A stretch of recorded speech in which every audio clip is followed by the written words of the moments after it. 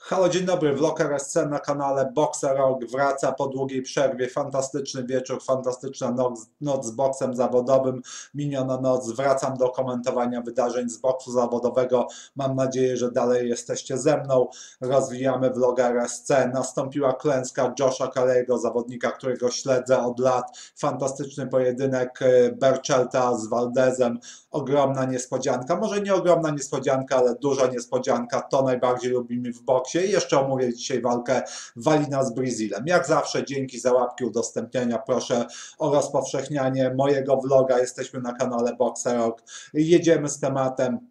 Zacznę oczywiście od walki Josha Kalego. Mieszkałem całe lata w Sunderlandzie, miałem okazję trochę trenować w tamtejszym klubie. Doskonale znam od początku przebieg kariery Josha Kalego. Uchodził za wielki talent, rzeczywiście jest to bardzo duży talent.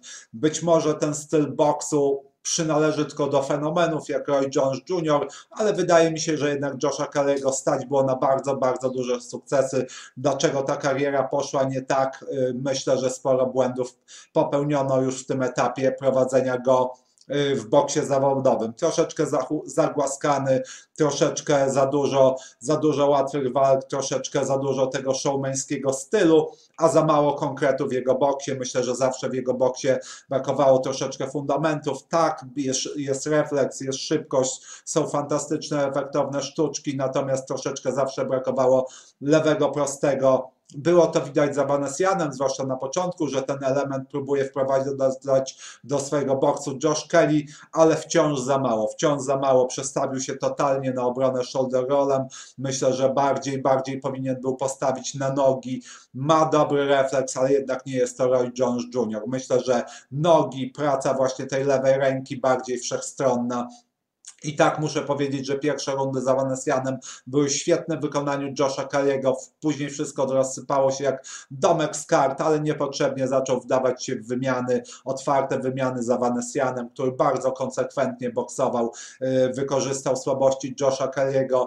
Josh Kelly zawsze miał tendencję, jak mówią Anglicy czy Amerykanie, do podziwiania swojej pracy, to znaczy po swojej udanej akcji zawsze zastygał, zawsze zawsze te kontry wracały, zawsze obrywał.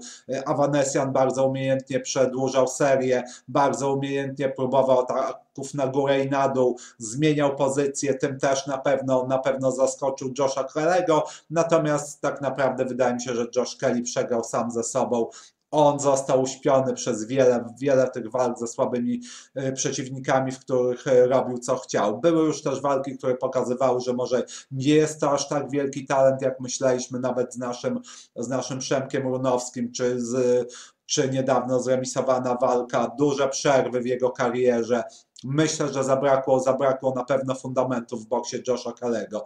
Y, mówiło się o tym, że będzie z wielkimi nazwiskami boksował. Y, kiedy porównywano go do Conora Bena, wszyscy się śmieli, a teraz jednak wygląda na to, że może w końcu dojdzie do takiej walki jak Josh Kelly, Conor Ben, gdzie wydawało się, że ogromny talent Josh Kelly, a zupełnie, zupełnie z księżyca wzięty Conor Ben tylko dzięki nazwisku y, swojego ojca. Wracając do walki z Avanesianem. Konsekwencja taktyczna Avanasiana, twardy, nieustępliwy, nie dał po sobie poznać, że ciosy Josha Kalego robią na nim wrażenie, a oczywiście robiły Oczywiście robił wrażenie, był taki moment, że ugięły się nogi pod Avanasianem, jeśli chodzi o Josha Carey'ego.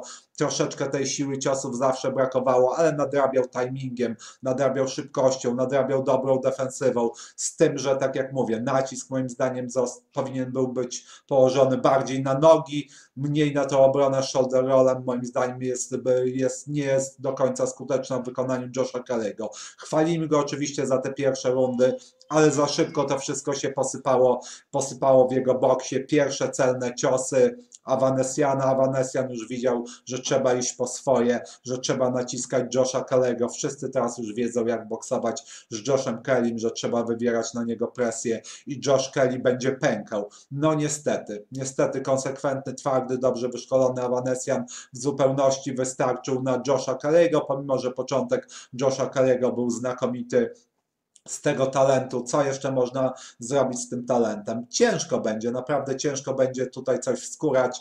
Na pewno za dużo jest tego showmeństwa. Zaczął wchodzić w otwarte wymiany z Avanesianem. Myślał, że ten jego timing mu pomoże, natomiast, natomiast cios Avanesiana przyjmował bardzo, bardzo źle i bardzo szybko, bardzo szybko, tak jak mówię, cała taktyka, cały plan się posypał, y, było przestawanie, były otwarte wymiany, było wszystko to, czego nie powinien był robić Josh Kelly w pewnym momencie walki próbował użyć swojej siły fizycznej, próbował spychać, próbował walczyć z Avanesianem nie w klasycznym półdystansie, ale inside, ale, ale te umiejętności jednak nie są jeszcze tak oszlifowane, żeby potrafiłby sobie tam y, Josh Kelly poradzić. Y, zasłużone zwycięstwo Avanesiana, nie ma co do tego żadnych wątpliwości.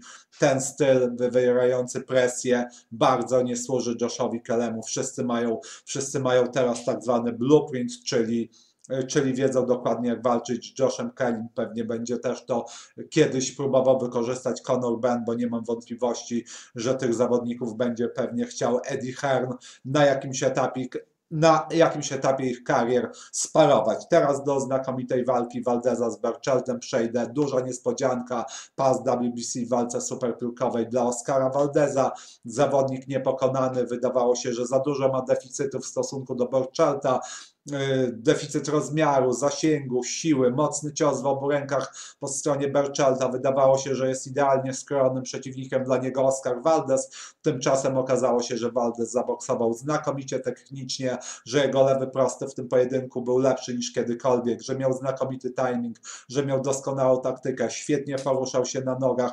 Okazało się, po raz kolejny, że nawet duży zawodnik w pojedynku z mniejszym zawodnikiem nie może zapominać o defensywie. Miguel Berchot znany jest z tego, że ciosom się nie kłania, a niestety ten lewy sierpowy, lewy sierpowy Oscara Valdeza jest piorunujący. Wszystko zaczęło się od lewego prostego, wszystko zaczęło się od świetnej, od świetnej pracy nóg, od poruszania się na boki, wybijał z rytmu Berchelta y, Valdez, Oscar Valdez. Berchelt spokojnie czekał na swoją szansę, ale się nie doczekał.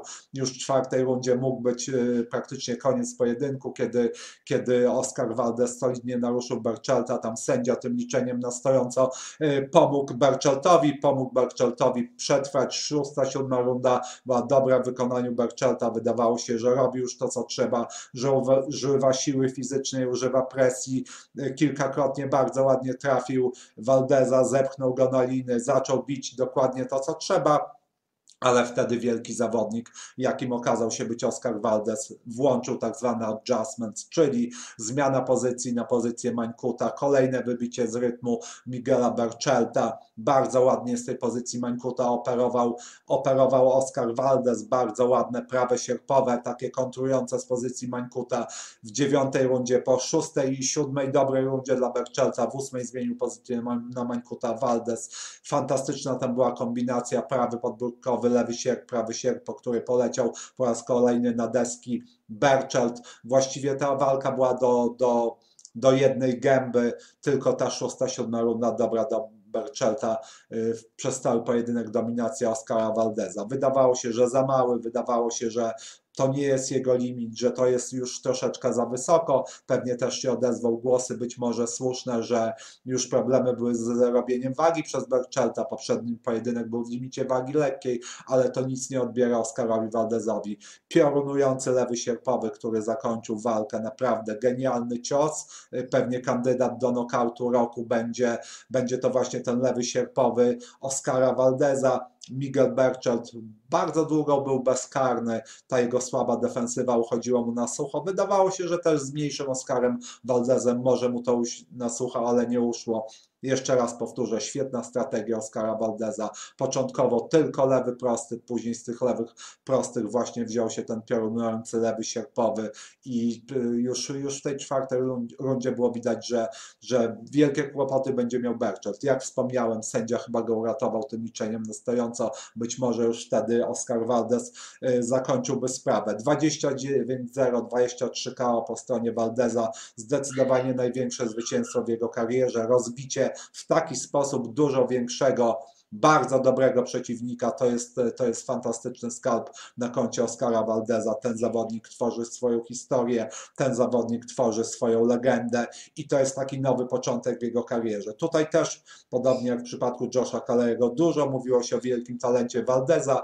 Później parę kieps, może nie kiepskich, ale gorszych walk wyglądało na to, że ten zawodnik zatrzymał się w rozwoju i tutaj mamy taki pojedynek, gdzie pokazał pełnię swojej umiejętności. Dopóki zawodnik jest niepokonany, tak naprawdę nie znamy limitu jego możliwości.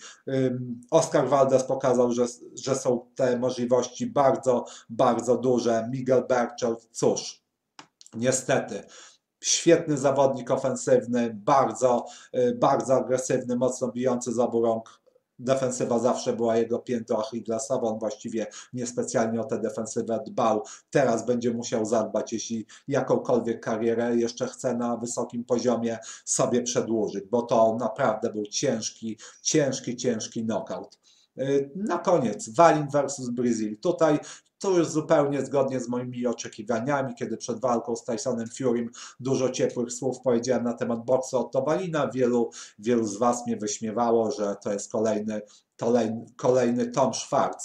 Niestety i stety to nie był Tom Schwarz. Mówiłem, że to jest zawodnik jedno albo nawet o dwie półki lepszy od Toma Schwarza. Bardzo dobre poruszanie po ringu, lewa ręka, zawodnik, zawodnik dosyć atletyczny, dosyć śliski. Tacy właśnie zawsze Tysonowi Fury'emu sprawiali kłopoty. Doskonała taktyka w walce z Tysonem Furym zastosowana przez Otto Walina. Bardzo długo w dystansie nie potrafił sobie poradzić Tyson Fury z tym, że, z tym, że właśnie Walin świetnie skracał ring, doskonale przedzierał się, zadawał bardzo fajne lewe, lewe proste na dół, potrafił skrócić bardzo umiejętnie dystans Tysonowi Fury'emu i bardzo umiejętnie też zmieniał pozycję ustawienia swojej głowy przy tych ciosach. Nie był łatwy do skontrowania. Tyson Fury musiał użyć swoich umiejętności insight, musiał zupełnie zmienić oblicze tej walki. Było tam e, zresztą bardzo, bardzo poważne rozcięcie. Dużo złego dużo cierpkich słów usłyszał Fury po tej walce, a tak naprawdę był to świetny,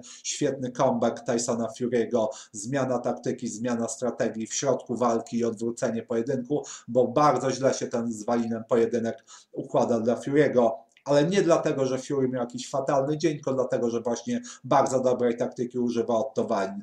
Jest śliski, dobrze rusza się po ringu, jest zawodnikiem niewygodnym. E, wiedziałem, że, że Brazil sobie z tym nie poradzi. Oczywiście nokauty od AJ'a, nokaut przede wszystkim Widera, na pewno nie jest to ten sam Dominik Brazil, ale wydaje mi się, że Trouble zawsze, zawsze Walin byłby zbyt skomplikowanym zawodnikiem dla Dominika Brazila. Pewnie wyglądałoby to troszeczkę inaczej, ale tutaj precyzyjne ciosy Walina, wymykanie się spod lin, y, dosyć, dosyć prosty pojedynek, prosty pojedynek dla Otto Walina z Dominikiem Brazilem. Pewnie miałby znacznie większe kłopoty, gdyby to się odbyło ze 2-3 lata temu, ale trzeba powiedzieć, że Otto Walin to jest, co jest całkiem solidny zawodnik.